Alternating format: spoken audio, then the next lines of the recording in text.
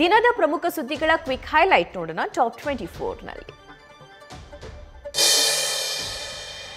ರಾಜ್ಯದಲ್ಲಿ ಇಂದು ಕೂಡ ಎರಡನೇ ವಾರದ ಎರಡನೇ ದಿನದ ವೀಕೆಂಡ್ ಕರ್ಫ್ಯೂ ಮುಂದುವರೆದಿದೆ. ಸೋಮವಾರ ಬೆಳಗ್ಗೆ ಐದು ಗಂಟೆವರೆಗೆ ವೀಕೆಂಡ್ ಕರ್ಫ್ಯೂ ಜಾರಿಯಲ್ಲಿರಲಿದ್ದು, ನಿನ್ನೆ ರಾತ್ರಿ ಕೂಡ ರಾಜಧಾನಿಯ ಹಲವೆಡೆ ಪೊಲೀಸರು ತಪಾಸಣೆ ನಡೆಸಿ ಅನಗತ್ಯವಾಗಿ ಓಡಾಡ್ತಾ ಇದ್ದವರಿಗೆ ಬಿಸಿ ಮೂಡಿಸಿದ್ದಾರೆ.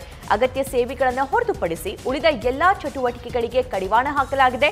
ಇನ್ನು ನಿಯಮ ಉಲ್ಲಂಘಿಸಿ ರಸ್ತೆಗೆ ಇಳಿಯುವವರನ್ನ ನಿಯಂತ್ರಿಸಲು ಎಲ್ಲೆಡೆ ಪೊಲೀಸರು ಅಲರ್ಟ್ ಆಗಿದ್ದು, ಕೊರೋನಾ ನಿಯಮ ಉಲ್ಲಂಘನೆಯಾಗದಂತೆ ನಿಗಾ ಇಟ್ಟಿದ್ದಾರೆ. ಎರಡ್ ಸಾವಿರದ ಇಪ್ಪತ್ತೆರಡರ ಗಣರಾಜ್ಯೋತ್ಸವ ಪರೇಡ್ಗೆ ಸತತ ಹದಿಮೂರನೇ ಬಾರಿಗೆ ಕರ್ನಾಟಕದ ಸ್ತಬ್ಧ ಚಿತ್ರ ಆಯ್ಕೆಯಾಗಿದೆ. ಈ ಬಗ್ಗೆ ಟ್ವೀಟ್ ಮಾಡುವ ಮೂಲಕ ಸಿಎಂ ಬಸವರಾಜ ಬೊಮ್ಮಾಯಿ ಸಂತಸ ವ್ಯಕ್ತಪಡಿಸಿದ್ದಾರೆ. ಕರ್ನಾಟಕ ಪಾರಂಪರಿಕ ಕರಕುಶಲ ವಸ್ತುಗಳ ತೊಟ್ಟಿಲು ಎಂಬ ಸ್ತಬ್ಧ ಚಿತ್ರ ಈ ಬಾರಿ ಪರೇಡ್ನಲ್ಲಿ ಭಾಗಿಯಾಗಲಿದೆ ಅಂತ ತಿಳಿಸಿದ್ದಾರೆ. ಹನ್ನೆರಡು ರಾಜ್ಯಗಳ ಪೈಕಿ ದಕ್ಷಿಣ ಭಾರತದಿಂದ ಆಯ್ಕೆಯಾದ ಏಕೈಕ ಸ್ತಬ್ಧ ಚಿತ್ರ ಇದಾಗಿದೆ. ಇನ್ನು ಕರ್ನಾಟಕದ ಸ್ತಬ್ಧ ಚಿತ್ರ ಗಣರಾಜ್ಯೋತ್ಸವ ಪರೇಡ್ಗೆ ಆಯ್ಕೆಯಾಗಿರೋದು ಹೆಮ್ಮೆಯ ವಿಚಾರ ಅಂತ ಸಿಎಂ ಬೊಮ್ಮಾಯಿ ಟ್ವೀಟ್ ಮಾಡಿ ಸಂತಸ ವ್ಯಕ್ತಪಡಿಸಿದ್ದಾರೆ. ಅತಿಥಿ ಉಪನ್ಯಾಸಕರ ಪ್ರತಿಭಟನೆ ಮುಂದುವರಿಕೆ ಬಗ್ಗೆ ಉನ್ನತ ಶಿಕ್ಷಣ ಸಚಿವ ಅಶ್ವಥ್ ನಾರಾಯಣ್ ಪ್ರತಿಕ್ರಿಯಿಸಿದ್ದಾರೆ. ಬೆಂಗಳೂರಲ್ಲಿ ಈ ಬಗ್ಗೆ ಮಾತನಾಡಿದ್ದು, ಸರ್ಕಾರದ ಪ್ಯಾಕೇಜ್ ಸಮಾಧಾನಕಾರವಾಗಿಲ್ಲ ಅಂತ ಕೆಲವು ಸಂಘಟನೆಗಳು ಮುಷ್ಕರ ಮುಂದುವರಿಸುವುದಾಗಿ ಹೇಳಿವೆ. ಆದರೆ ಅತಿಥಿ ಉಪನ್ಯಾಸಕರ ವೇತನವನ್ನು ಸರ್ಕಾರ ಹೆಚ್ಚಳ ಮಾಡಿದ್ದು ಉತ್ತಮ ಪ್ಯಾಕೇಜ್ ಕೊಡಲಿದೆ. ಹೀಗಾಗಿ ಮುಷ್ಕರ ನಿಲ್ಲಿಸಿ ಕೆಲಸಕ್ಕೆ ಹಾಜರಾಗುವಂತೆ ಮನವಿ ಮಾಡಿಕೊಂಡರು. ಇನ್ನು ಎರಡ್ ಸಾವಿರದ ಇಪ್ಪತ್ತೆರಡು ಇಪ್ಪತ್ತ್ ಮೂರರ ಸಾಲಿನ ಅತಿಥಿ ಶಿಕ್ಷಕರ ನೇಮಕ ಪ್ರಕ್ರಿಯೆ ಸೋಮವಾರದಿಂದ ಆರಂಭಗೊಳ್ಳಲಿದ್ದು, ಅರ್ಜಿ ಸಲ್ಲಿಕೆಗೆ ಒಂದು ವಾರ ಕಾಲಾವಕಾಶ ನೀಡಲಾಗಿದೆ ಮುಂದಿನ ತಿಂಗಳು ಹತ್ತನೇ ತಾರೀಕಿನೊಳಗೆ ಅತಿಥಿ ಉಪನ್ಯಾಸಕರ ಬಾಕಿ ವೇತನ ಪಾವತಿಸುವುದಾಗಿ ಸಚಿವರು ಭರವಸೆ ನೀಡಿದ್ದಾರೆ. ಕೋವಿಡ್ ಸಮಯದಲ್ಲಿ ರಾಜ್ಯದಲ್ಲಿ ತಂತ್ರಜ್ಞಾನವನ್ನ ಸಮರ್ಪಕವಾಗಿ ಬಳಸಿಕೊಳ್ಳಲಾಗಿದೆ ಅಂತ ಆರೋಗ್ಯ ಸಚಿವ ಡಾಕ್ಟರ್ ಕೆ ಸುಧಾಕರ್ ಹೇಳಿದ್ದಾರೆ. ಸ್ಟೆಪಾನ್ ಸಂಸ್ಥೆಯ ಸಹಯೋಗದಲ್ಲಿ ಕೋವಿಡ್ ರೋಗಿಗಳ ಹೋಮ್ ಐಸೋಲೇಷನ್ ಬಗ್ಗೆ ನಡೆದ ವರ್ಚುವಲ್ ಕಾರ್ಯಕ್ರಮದಲ್ಲಿ ಮಾತನಾಡಿದ ಅವರು, ಈವರೆಗೆ ಎರಡು ಪಾಯಿಂಟ್ ಐದು ಲಕ್ಷ ಸಿಬ್ಬಂದಿಗೆ ತಂತ್ರಜ್ಞಾನದ ತರಬೇತಿ ನೀಡಲಾಗಿದೆ. ಇದೀಗ ಹತ್ತು ಸಾವಿರ ವೈದ್ಯರು ಹಾಗೂ ಆಯುಷ್ ವಿದ್ಯಾರ್ಥಿಗಳಿಗೂ ತರಬೇತಿ ನೀಡಲಾಗುವುದು ಅಂತ ಹೇಳಿದ್ದಾರೆ. ಹೋಮ್ ಐಸೋಲೇಷನ್ನಲ್ಲಿರುವ ಆರೋಗ್ಯದ ಮೇಲೆ ನಿಗಾ ಇಡಲು ಹತ್ತು ಸಾವಿರ ಸಿಬ್ಬಂದಿ ನೇಮಿಸಲಾಗಿದ್ದು, ಇನ್ನೂ ಹತ್ತು ಸಾವಿರ ಸಿಬ್ಬಂದಿಯ ನಿಯೋಜನೆಗೆ ಚಿಂತನೆ ನಡೆಸಲಾಗಿದೆ ಅಂತ ಆರೋಗ್ಯ ಸಚಿವರು ತಿಳಿಸಿದ್ದಾರೆ. ರಾಜ್ಯದಲ್ಲಿ ಕೊರೋನಾ ಕೇಸ್ಗಳ ಸಂಖ್ಯೆ ದಿನದಿಂದ ದಿನಕ್ಕೆ ಹೆಚ್ಚಳವಾಗ್ತಾ ಇರುವ ಹಿನ್ನೆಲೆ ಕೊಪ್ಪಳದಲ್ಲೂ ಕೋವಿಡ್ ಟೆಸ್ಟ್ ಸಂಖ್ಯೆ ಹೆಚ್ಚಿಸಲಾಗಿದೆ. ಜಿಲ್ಲೆಯಲ್ಲಿ ಸಂಕ್ರಾಂತಿ ಹಬ್ಬದ ದಿನವೇ ತೊಂಬತ್ನಾಲ್ಕು ಜನರಲ್ಲಿ ಸೋಂಕು ದೃಢಪಟ್ಟರೆ, ಇದರಲ್ಲಿ ಅರವತ್ತೈದು ಸೋಂಕಿತರು ಹೋಮ್ ಐಸೋಲೇಷನ್ನಲ್ಲಿದ್ದು ಇಪ್ಪತ್ತೊಂಬತ್ತು ಸೋಂಕಿತರು ಆಸ್ಪತ್ರೆಯಲ್ಲಿ ಚಿಕಿತ್ಸೆ ಪಡಿತಾ ಇದ್ದಾರೆ. ಗಂಗಾವತಿ, ಕುಷ್ಟಗಿ, ಯಲಬುರ್ಗಾದಲ್ಲಿ ಹೆಚ್ಚಿನ ಸಂಖ್ಯೆಯಲ್ಲಿ ಕೊರೋನಾ ಪತ್ತೆಯಾಗ್ತಿದ್ದು ಈ ಹಿನ್ನೆಲೆ ಮತ್ತಷ್ಟು ಕಟ್ಟುನಿಟ್ಟಿನ ಕ್ರಮಗಳನ್ನು ಕೈಗೊಳ್ಳಲು ಜಿಲ್ಲಾಡಳಿತ ಚಿಂತನೆ ನಡೆಸಿದೆ. ವೀಕೆಂಡ್ ಕರ್ಫ್ಯೂ ಮಧ್ಯೆಯೂ ಸಕ್ಕರೆ ನಾಡು ಮಂಡ್ಯದಲ್ಲಿ ಸಂಕ್ರಾಂತಿ ಸಂಭ್ರಮ ಮನೆ ಮಾಡಿತ್ತು. ಜಿಲ್ಲಾಧಿಕಾರಿಗಳ ಆದೇಶ ಲೆಕ್ಕಿಸದೆ ರಾಸುಗಳನ್ನ ಕಿಚ್ಚು ಹಾಯಿಸಿ ಜನರು ಸಂತಸಪಟ್ಟರು ಪ್ರತಿ ವರ್ಷ ಸುಗ್ಗಿ ಹಬ್ಬವನ್ನು ಅದ್ದೂರಿಯಾಗಿ ಆಚರಣೆ ಮಾಡ್ತಿದ್ರು. ಆದರೆ ಈ ಬಾರಿ ಕೊರೋನಾ ಹಿನ್ನೆಲೆ ಕಿಚ್ಚು ಹಾಯಿಸದಂತೆ ಡಿಸಿ ಆದೇಶ ನೀಡಿದ್ರೂ. ಯಾವುದನ್ನು ಲೆಕ್ಕಿಸದ ಜನರು ರಾಸುಗಳಿಗೆ ಕಿಚ್ಚು ಹಾಯಿಸಿ ಸಂಕ್ರಾಂತಿ ಹಬ್ಬ ಸೆಲೆಬ್ರೇಟ್ ಮಾಡಿದ್ದಾರೆ. ಇನ್ನು ಸ್ಥಳಕ್ಕೆ ಬಂದ ಪೊಲೀಸರು ಹಬ್ಬ ತಡೆಯದೆ ವಿಡಿಯೋ ಮಾಡಿಕೊಂಡು ಬಳಿಕ ಕೇಸ್ ದಾಖಲಿಸಲು ನಿರ್ಧರಿಸಿ ಹಿಂದಿರುಗಿದ ಘಟನೆ ಕೂಡ ನಡೆದಿದೆ.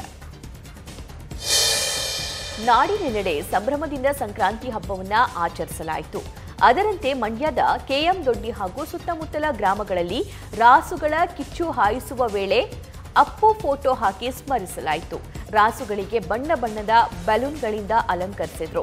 ವರ್ಷದ ಮೊದಲ ಸುಗ್ಗಿ ಹಬ್ಬವನ್ನ ಸಂಭ್ರಮದಿಂದ ಆಚರಿಸಿದ ಸಕ್ಕರೆ ನಾಡಿನ ಜನರು ಹಬ್ಬದ ಜೊತೆಗೆ ಅಗಲಿದ ಅಪ್ಪು ಅವರ ಭಾವಚಿತ್ರ ಇಡುವ ಮೂಲಕ ಅಗಲಿದ ಅಪ್ಪುಗೆ ಗೌರವ ಸಲ್ಲಿಸಿದ್ದಾರೆ.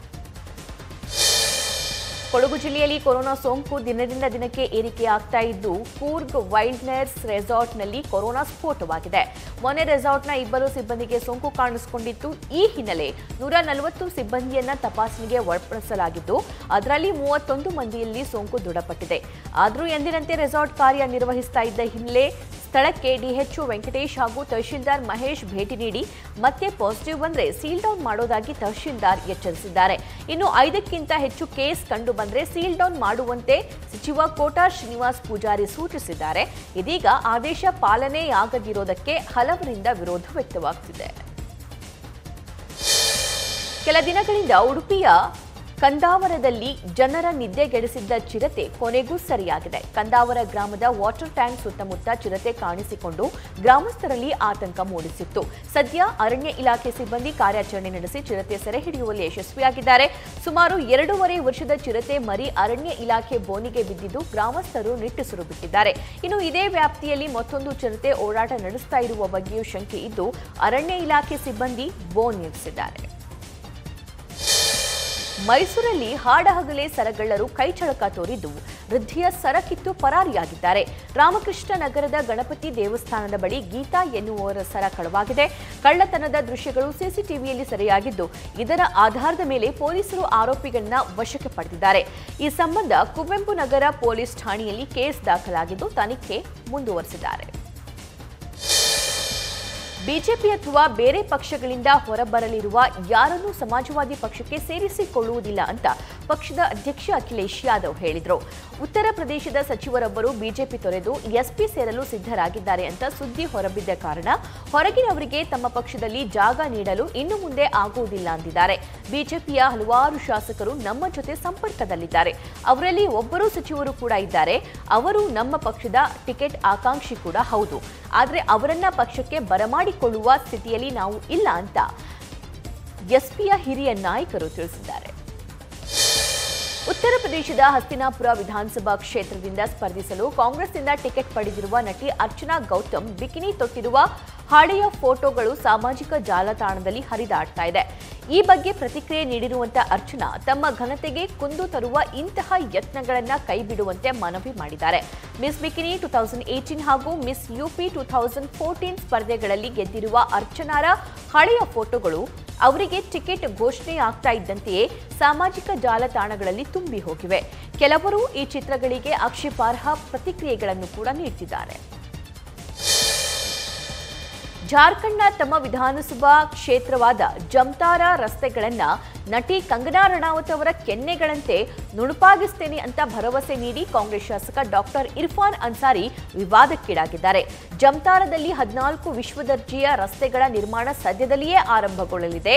ನಟಿ ಕಂಗನಾ ಕೆನ್ನೆಗಿಂತಲೂ ಈ ರಸ್ತೆಗಳು ನುಣುಪಾಗಿರುತ್ತವೆ ಅಂತ ನಾನು ನಿಮಗೆ ಭರವಸೆ ನೀಡುತ್ತೇನೆ ಅಂತ ಶಾಸಕ ಹೇಳಿದ್ದಾರೆ. ಇತ್ತೀಚೆಗಷ್ಟೇ ಹೆಚ್ಚು ಹೊತ್ತು ಮಾಸ್ಕ್ ಧರಿಸಬಾರದು, ಅದು ಆರೋಗ್ಯಕ್ಕೆ ಹಾನಿಕಾರ ಅಂತ ಹೇಳಿ ಇರ್ಫಾನ್ ಹಲವರ ಕೆಂಗಣ್ಣಿಗೂ ಗುರಿಯಾಗಿದ್ರು. ಅರುಣಾಚಲ ಪ್ರದೇಶದ ಮುಖ್ಯಮಂತ್ರಿ ಪೇಮಾ ಖಂಡು ರಾಜೀನಾಮೆ ನೀಡುವಂತೆ ಒತ್ತಡ ಹೇರಲು ಬುಡಕಟ್ಟು ಯುವಕರ ಸಂಘಟನೆಗಳು ಮುಂದಾಗಿವೆ. ಮುಷ್ಕರಕ್ಕೆ ಸಂಬಂಧಪಟ್ಟಂತೆ ನೂರಕ್ಕೂ ಅಧಿಕ ಜನರನ್ನ ಮುಂಜಾಗ್ರತಾ ಕ್ರಮವಾಗಿ ಪೊಲೀಸರು ವಶಕ್ಕೆ ತೆಗೆದುಕೊಂಡಿದ್ದಾರೆ.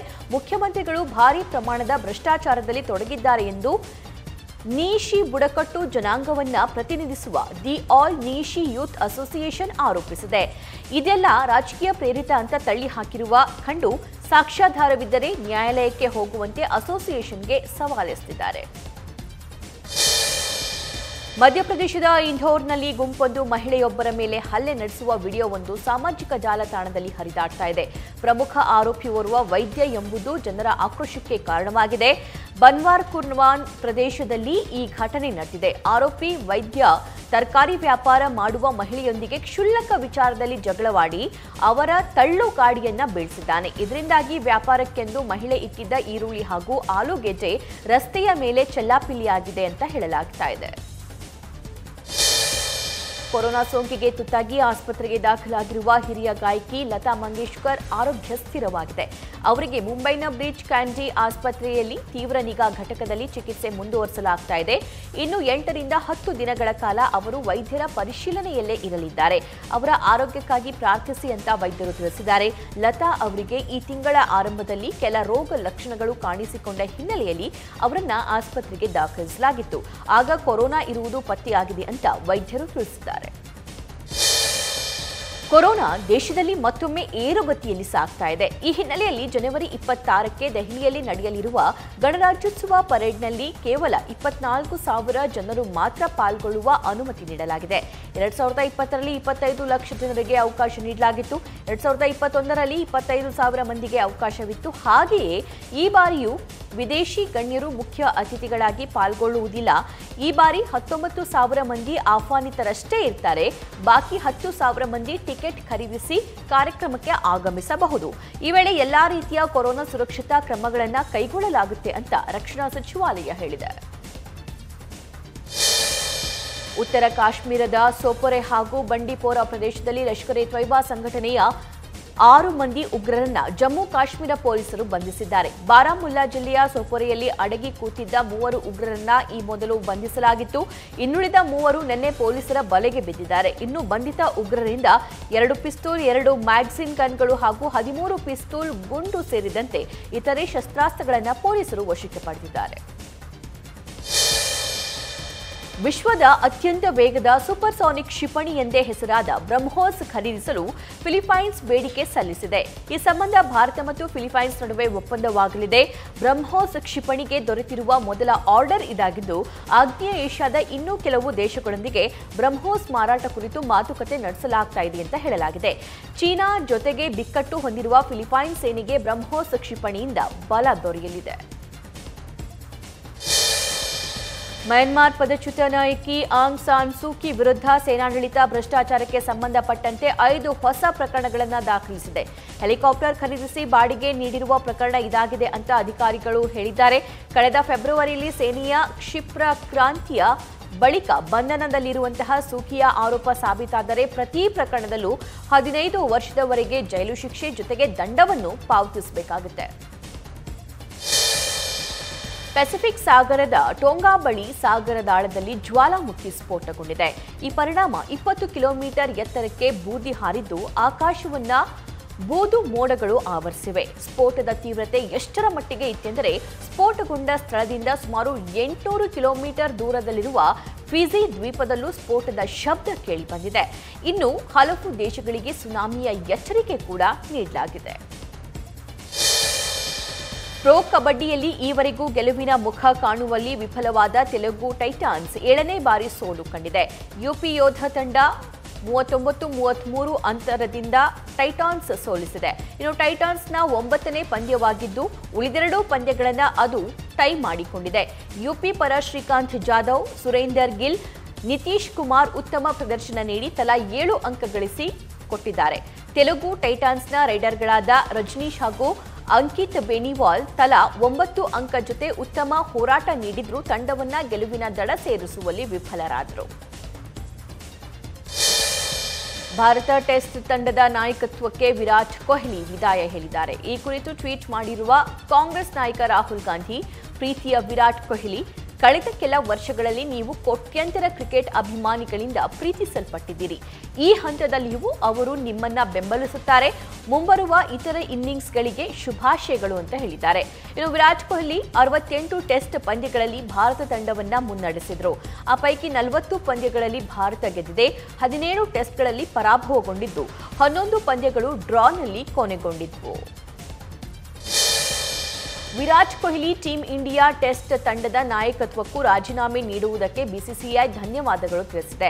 ಈ ಬಗ್ಗೆ ಟ್ವೀಟ್ ಮಾಡಿರುವ ಬಿಸಿಸಿಐ, ಟೆಸ್ಟ್ ತಂಡವನ್ನು ಅಭೂತಪೂರ್ವ ಎತ್ತರಕ್ಕೆ ಕೊಂಡೊಯ್ದ ಟೀಂ ಇಂಡಿಯಾ ನಾಯಕ ವಿರಾಟ್ ಕೊಹ್ಲಿ ಅವರು ಅದ್ಭುತ ನಾಯಕತ್ವಕ್ಕಾಗಿ ಅಭಿನಂದನೆಗಳು. ಅವರು ಅರವತ್ತೆಂಟು ಟೆಸ್ಟ್ ಪಂದ್ಯಗಳಲ್ಲಿ ಭಾರತವನ್ನು ಮುನ್ನಡೆಸಿದ್ರು. ಇದರಲ್ಲಿ ನಲವತ್ತು ಗೆಲುವುಗಳೊಂದಿಗೆ ಅಂತ್ಯದ ಯಶಸ್ವಿ ನಾಯಕ ಎನಿಸಿಕೊಂಡರು. ನಿಮ್ಮೆಲ್ಲ ಕೊಡುಗೆಗಳಿಗೆ ಧನ್ಯವಾದ ಅಂತ ಹೇಳಿದೆ. ಆದರೆ ಬಿಸಿಸಿಐ ಟ್ವೀಟ್ಗೆ ಟೀಕೆಗಳು ಹರಿದು ಬರ್ತಾ ಇದೆ. ಫಸ್ಟ್